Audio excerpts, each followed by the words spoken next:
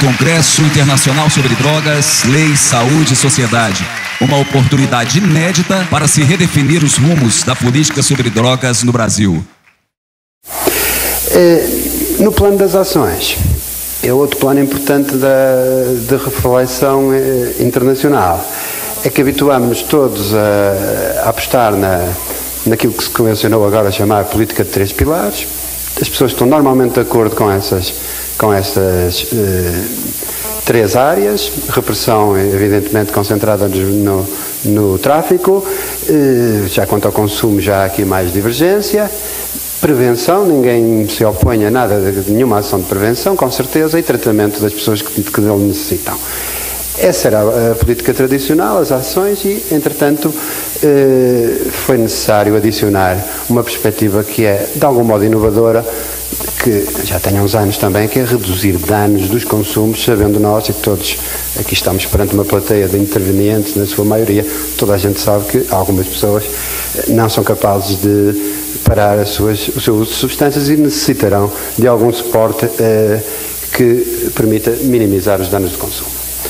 Eh, dito isso, eh, só muito brevemente, para não me alongar, todos, penso também que conhecem, estas, esta necessidade da redução de danos, pelo menos na Europa, surgiu de uma forma muito marcada por causa dos problemas do HIV e da SIDA, das preocupações com os territórios urbanos e com a, a criminalidade e a insegurança, hum, particularmente os episódios dos centros das cidades estarem com muita concentração de consumidores, isso não era bem visto. Bem, por aí começou a ideia de que é preciso fazer alguma coisa de importante com essas pessoas e, portanto, passou-se desse modo a abandonar uma ideia de que seríamos capazes de terminar com o consumo de substâncias e a tal ideia de guerra às drogas ficou por aí muito posta em questão.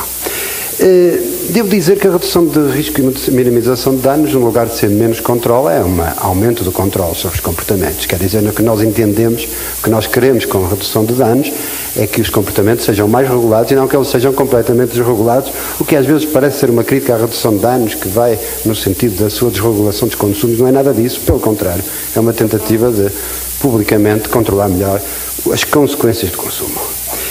Eh, aqui, eh, portanto, estas duas áreas são duas áreas que são mais ou menos confluentes, mas que têm possibilidade de coabitarem de maneira diferente. Quer dizer, redução de danos para proibicionistas conservadores, não sei se será o melhor termo, é uma mão. Todas as ações são mais medidas porque vão contra o princípio de que se quer erradicar o consumo. E, portanto, para proibicionistas conservadores estão normalmente contra a redução de danos. Mas há outras pessoas que defendem proibicionismo e que acham que elas são compatíveis para minimizar prejuízos. Bem, outras, os adeptos da legalização de, das drogas, tendencialmente apoiam medidas de redução de danos porque veem como um passo intermédio para o fim da legalização. Os técnicos normalmente interessam-se fundamentalmente pelo apoio às pessoas, independentemente das questões políticas, embora também possam ter opinião política, evidentemente. E as comunidades constituem, acima de tudo, uma maneira, e não é por acaso que a redução de danos não surge muito, pelo menos na Europa, ligada ao Estado, mas sim às comunidades, aos municípios, que vêem a dificuldade que é de lidar com as pessoas que estão na rua e que não, não podem ser exportadas para lado nenhum. É, portanto, devo dizer que a redução de danos, para concluir isso, é versátil, adapta-se a várias perspectivas é, é passível de existir com países largamente proibicionistas. E é necessário em países largamente proibicionistas. E, obviamente, é muito mais própria de um regime protecionista do consumidor, porque é isso que ele, que ele pretende uh, implementar. Um, uh, eu não me escarmaçar com avaliações de programas de, de redução de danos, toda a gente penso que tem alguma ideia.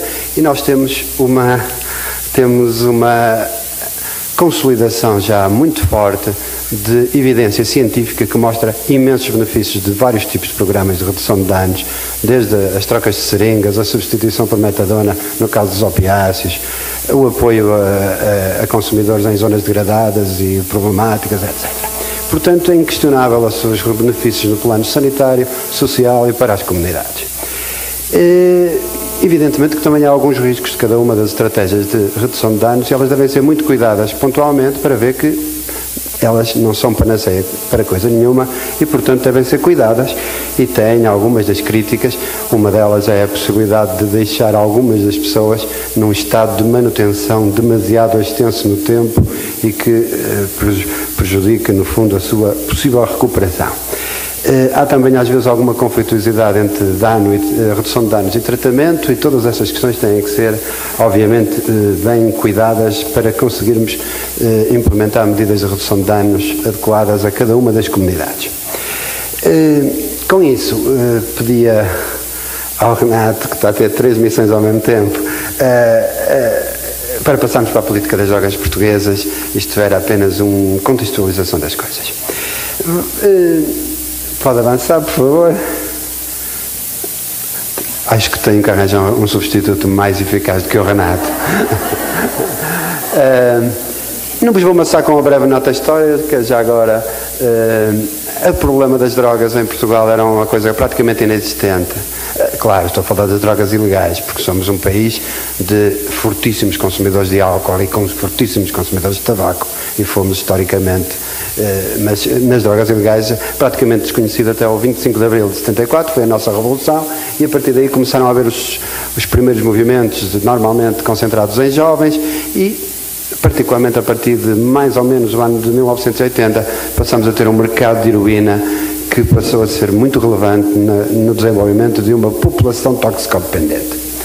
Uh, a situação passou a ser de alguma crise já em plenos anos 90. Nós tínhamos uma dificuldade e tivemos, tivemos que resolvê-la. Quer dizer, tínhamos, não é que tivéssemos muito consumos, nunca tivemos, um país com relativas baixas taxas de consumo, mas tínhamos proporcionalmente grandes problemas com estes consumidores de opiáceos particularmente de heroína. E, portanto, começou-se a perceber esta necessidade, a redução de riscos, etc. E, portanto, tivemos eh, tivemos que tomar uma opção de política. E essa opção de política, penso que é importante para vocês aqui no Brasil e noutros países, passou por, uma, passou por várias coisas, evidentemente, pela abertura do, do poder político a, a, essa discussão, por um debate público sobre a própria legalização, a, regulação do consumo, melhor dito, e uh, esse debate acabou por levar à constituição de uma comissão de peritos.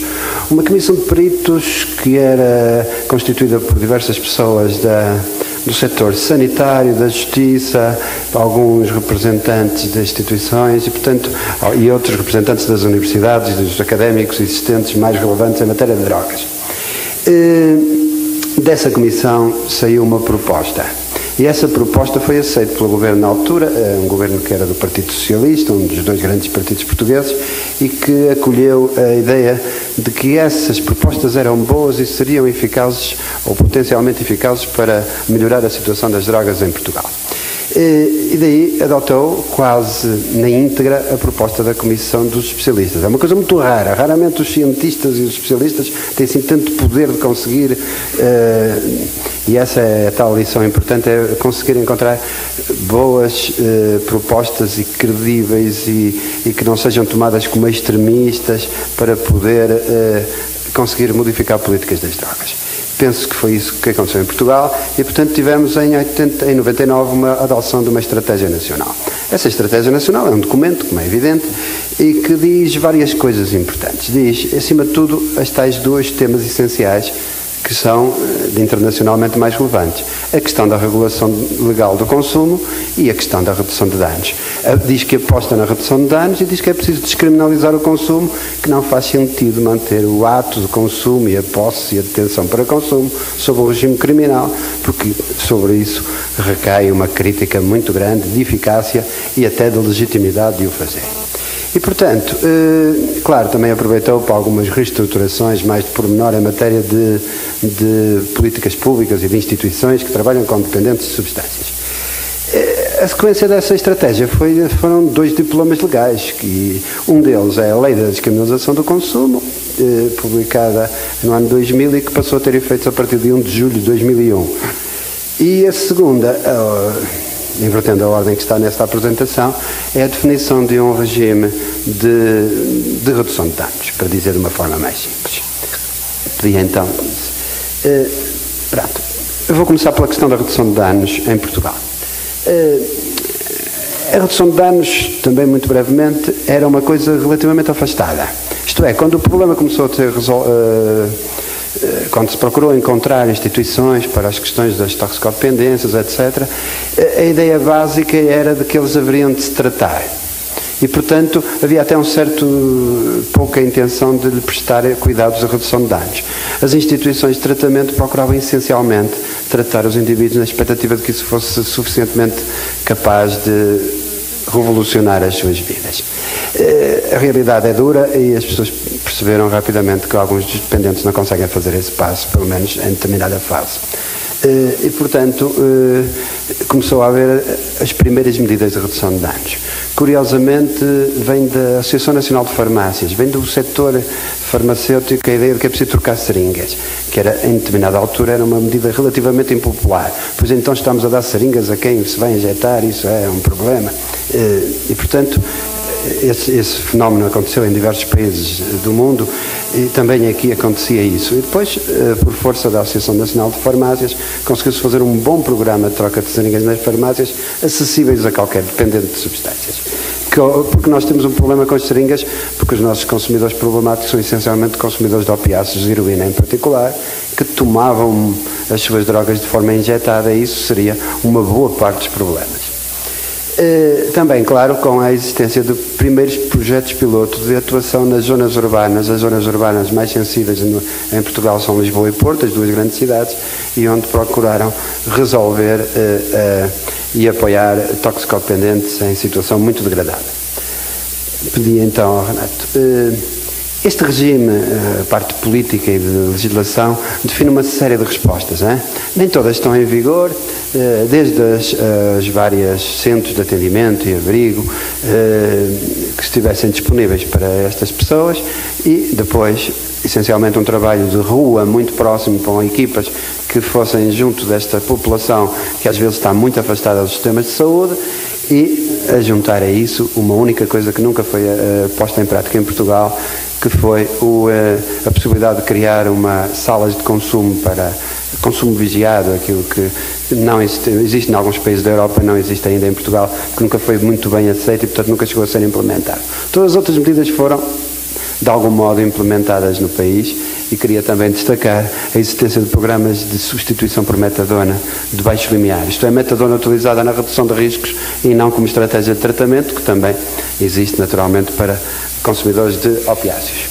Eh, criou-se então uma rede, a instituição pública que, que, se coordena, e vocês verão hoje um vídeo do João Galão, que é o diretor dessa unidade, dessa antigamente era um instituto, agora é um, apenas uma parte do Ministério da Saúde, eh, procurou fazer uma série de, de de cuidados e dá apoio a estas equipas de redução de riscos e, portanto, já abrange um conjunto importante de pessoas, particularmente nas zonas problemáticas das cidades.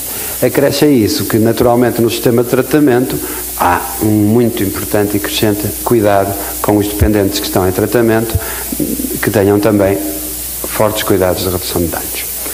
Uh, sim. Digamos que uh, há apenas aqui um senão, se quisermos, é que a redução de danos é menos oficial do que o tratamento.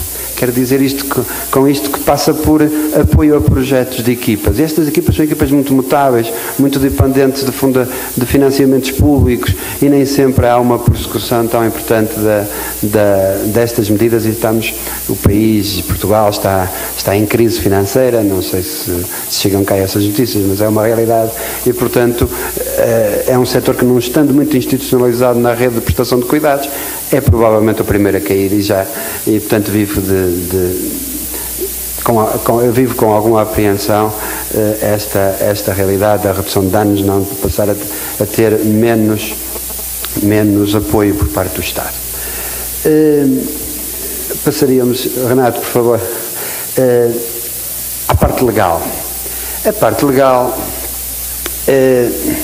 passa por uma lei. Outro slide, por favor. Uh, nós optamos, tem aqui um esquema das possibilidades que temos. Nós tínhamos uh, o consumo como crime e uh, a possibilidade foi de passá-la para descriminalização. Descriminalização é um ato que era crime e deixou de o ser. E passou a ser interdito de uma outra maneira, geralmente por direito administrativo, por regime de controle nacional, e foi essa a opção portuguesa.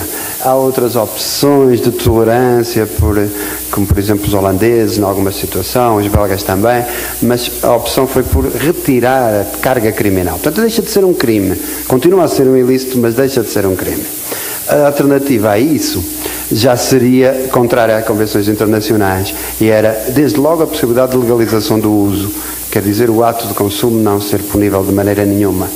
E, e finalmente, aquilo que já aqui vi discutir hoje e ontem, uh, possibilidades que mexam com o esquema do mercado e, portanto, que passem por fazer com que haja acesso regulado e que a venda deixe de ser um crime, pelo menos em algumas circunstâncias. Eh, a opção, portanto, fica no regime do interdito.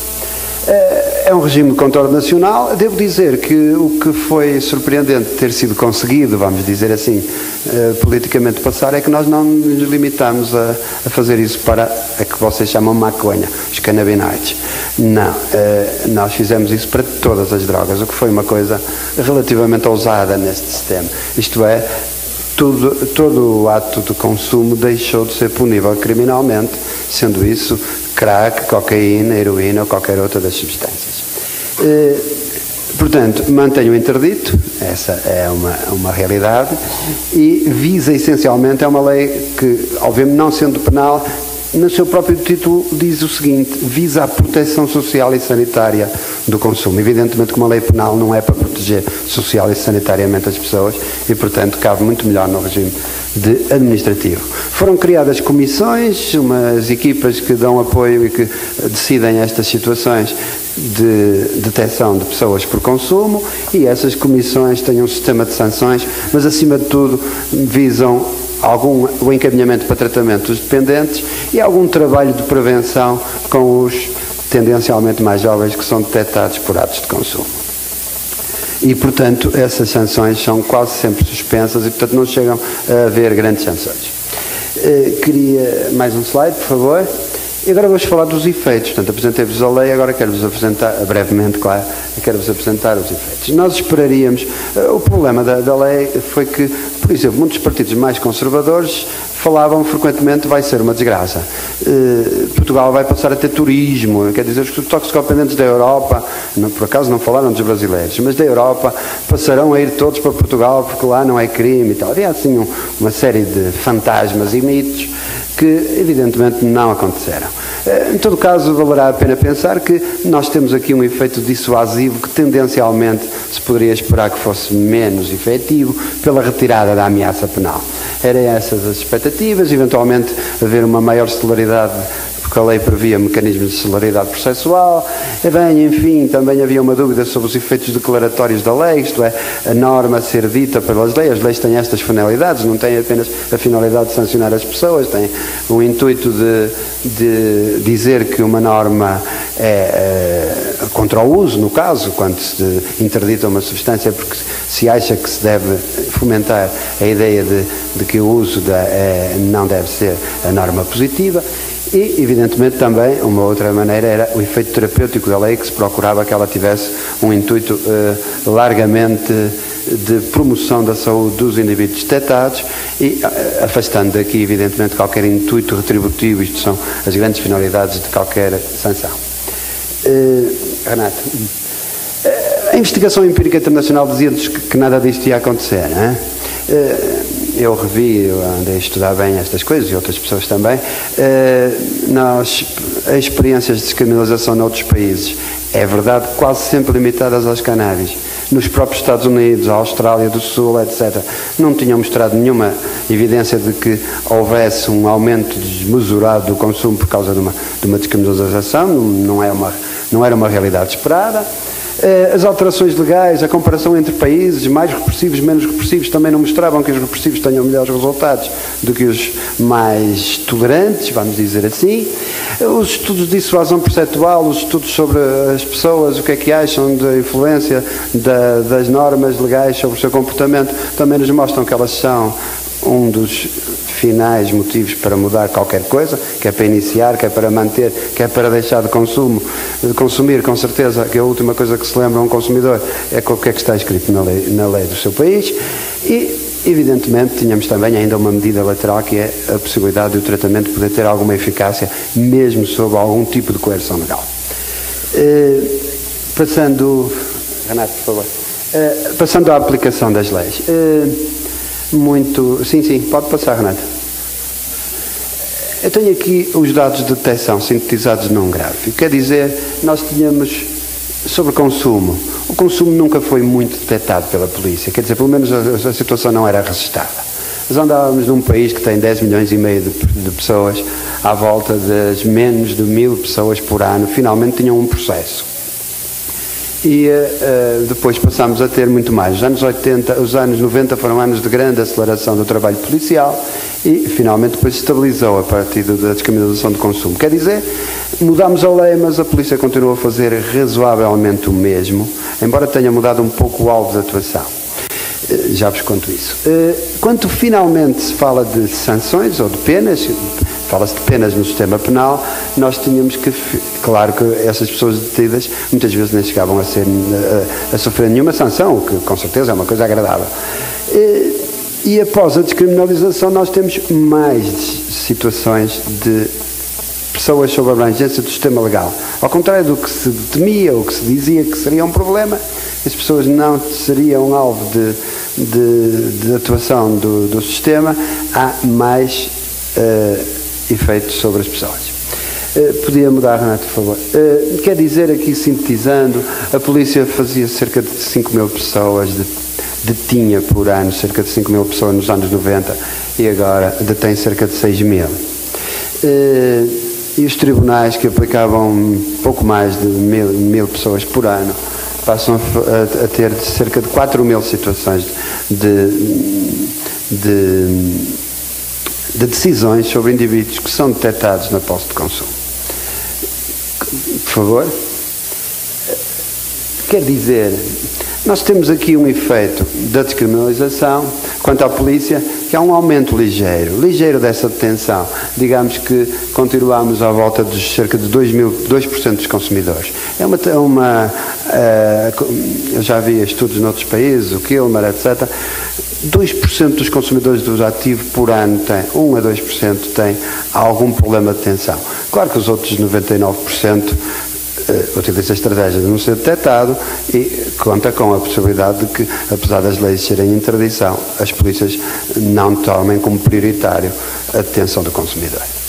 Uh, Quanto à justiça, nós temos um aumento da possibilidade de atuação da justiça. Ao contrário do que se dizia, descriminalizar, é, há um mais atuação. E, portanto, uh, isso fez com que houvesse uma substituição. A medida de penência finalmente era quase sempre de multa e agora foi substituída por um sistema de suspensão das sanções que visa o tratamento do consumidor. Por favor. Finalmente, para terminarmos, dados sobre, sobre drogas para termos alguma ideia sobre se isto teve uma consequência sobre o consumo. Evidentemente que as medidas eh, de política em geral necessitam que tenham, alguma eficácia. E, portanto, quando se legisla, quando se interdita consumo, a ideia será uh, que haja menos consumo. Uh, a descriminalização não teve um efeito importante sobre os consumos. Estas são os inquéritos em população geral, as flutuações são mínimas. Uh, Portugal, portanto, desde 2001, quando entrei em vigor a lei, tínhamos um inquérito, o inquérito seguinte diz que aumentou um pouco o consumo, o inquérito eh, mais recente diz que voltou a diminuir, quer dizer, não aconteceu nada de extraordinário. Uma coisa extraordinária seria nós descriminalizámos o consumo, tínhamos 10% da população com atos de consumo e passamos a ter 40%. Nada disso existiu, não é? Portanto, a descriminalização fez-se sem que isso tenha grande importância em matéria de dados gerais de consumo. Uh, tem ali alguns países. Portugal continua a ser um país com muito pouco consumo. Eu andei à procura dos dados brasileiros e, portanto, teremos posição relativamente similar a ser válido o relatório brasileiro sobre drogas, que me parece bem feito, mas vocês provavelmente terão melhor crítica sobre. Isto é um inquérito eh, domiciliário que foi feito em todo o Brasil. Parece-me bem feito assim à partida. Eh, mais um slide, por favor. Em meio escolar, nós temos informação mais antiga e é exatamente a mesma coisa. Uh, o consumo, a descriminalização do consumo, hum, que cai ali no meio em 2001, não fez nada de especial relativamente ao consumo de drogas. Os países, têm até os dados comparativos com os 19 países europeus que participaram em todos os inquéritos internacionais. Este é o mesmo inquérito passado a jovens de 16 anos em, todo, em toda a Europa em, e, portanto, é o inquérito mais consagrado. E Portugal continuou com os seus níveis de consumo eh, intactos relativamente a uma alteração legal eventualmente tão temida. Eh, sim, por favor. Eh, pronto, isto aqui só para dizer que Portugal uh, está ali junto à média, tem 16% dos jovens de 16 anos a consumir substâncias psicoativas e, e que isso é muito próximo da média europeia e é onde nos situamos e onde nos situávamos antes. É claro que há outros países, como a República Checa e a França, que já têm, que qualquer dia conseguem fazer aquilo que é. O normal é que um jovem seja consumidor. Quando atingir os 50%, passamos a ter o critério estatístico. Não nos falta muito, de facto. É, por favor. outra questão é a questão dos dependentes de substâncias. Aqui tivemos uma feliz notícia. Os dependentes de substâncias não se contam assim, uh, dependem de critérios clínicos. Uh, usamos a classificação de consumo problemático que é da Organização Europeia das Drogas. Uh, e, portanto, e o mais fiável dos indicadores são o número de admissões de novos utentes. Nós tínhamos, tínhamos vindo a subir muito a nossa, as nossas necessidades até de responder uh, a pessoas com dependência de substâncias. Em Portugal, já vos disse, quase sempre consumidores de heroína e isso aconteceu de uma forma muito evidente durante os anos 90. Estamos a ter muita gente à, procura de tratamento. Chegamos a ter eh, cerca de 10 mil pessoas novas por ano, que para a dimensão do nosso país era um, muito importante. E a partir daí eh, passamos a ter menos, isto é, há menos pessoas com problemas de drogas. Não é, eh, não é necessariamente só fruto da política, evidentemente. Há também uma importante mudança no, nos padrões de consumo que faz com que os mais jovens não procurem tanto a heroína como a geração anterior. E isso é uma belíssima notícia para, para quem lida com toxicodependentes. Não quer dizer que as outras substâncias não possam ter problemas, mas seguramente que são menos capazes de proporcionar os problemas gravíssimos que temos tido nos últimos 20 anos ou 30 em matéria de drogas em Portugal. Uh, um outro slide final é para mostrar um efeito muito positivo das medidas de redução de danos e também de toda a política das drogas. É que nós tínhamos, temos uma situação muito complexa em matéria de HIV. Eu trago só os dados do HIV. Se fosse os da hepatite e dos outros problemas associados, uh, as coisas seriam relativamente similares. Uh, o HIV em Portugal era.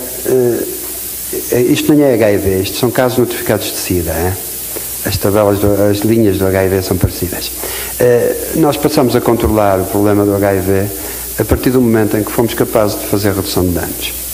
Isto é, uh, Portugal tem uma desproporção absolutamente. Nós temos ali alguns anos onde a linha verde, que é dos toxicodependentes, é superior a toda a população que não é toxicodependente. Como devem imaginar, uh, Portugal tem uma proporção mínima de dependentes face à população, vai lá, no máximo 50 mil pessoas com problemas de dependência de substâncias. Injetada provavelmente menos.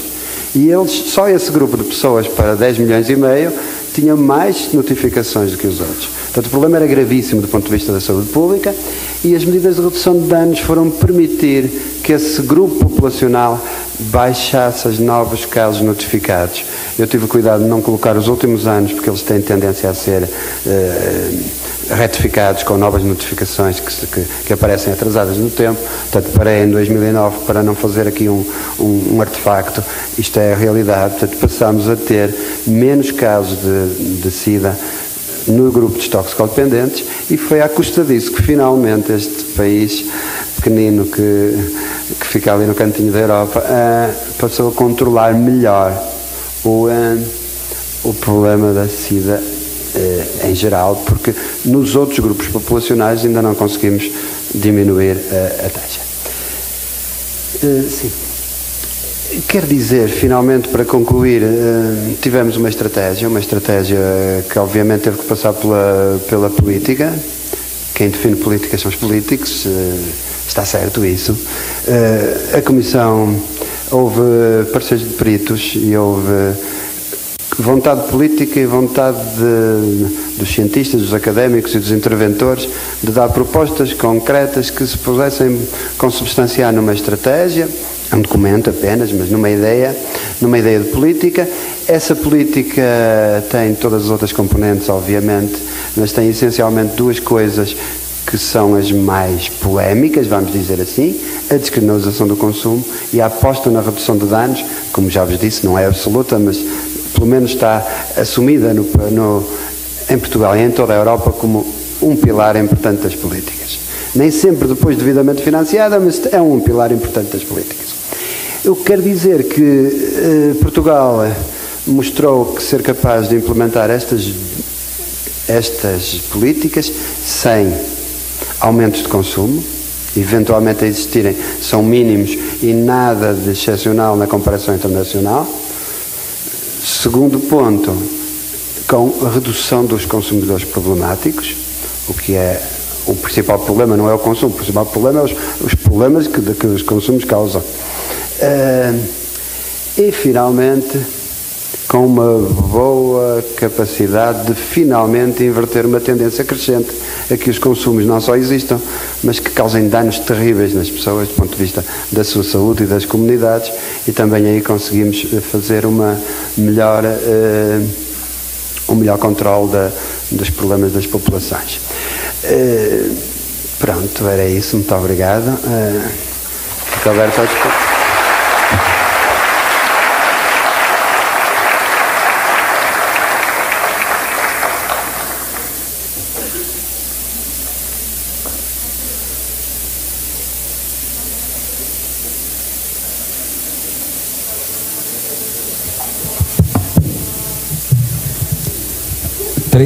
perguntas.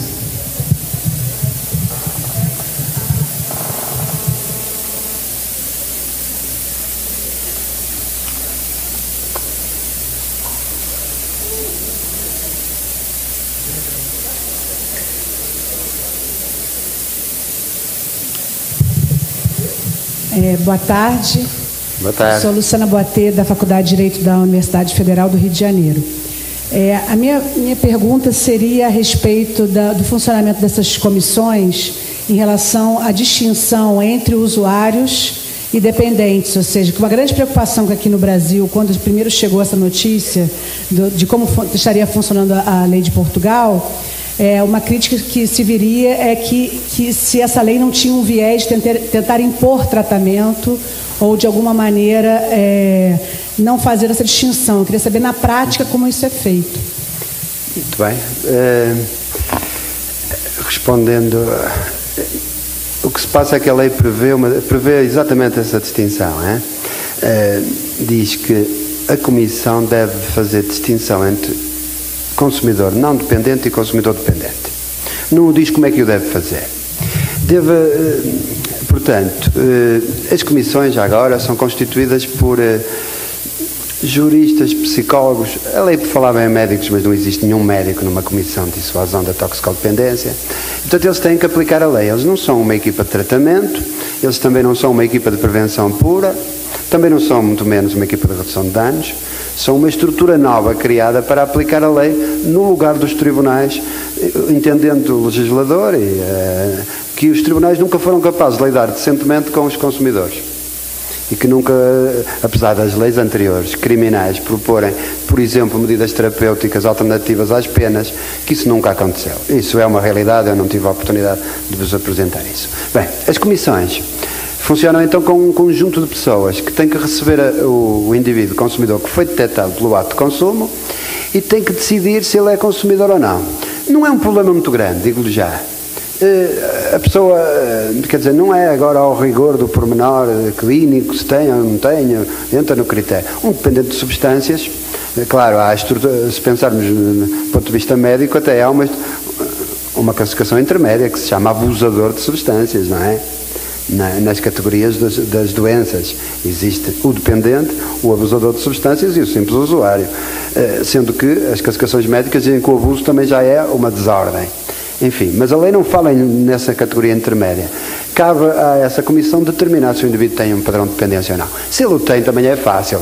Percebe-se que o indivíduo tem um grave problema com drogas.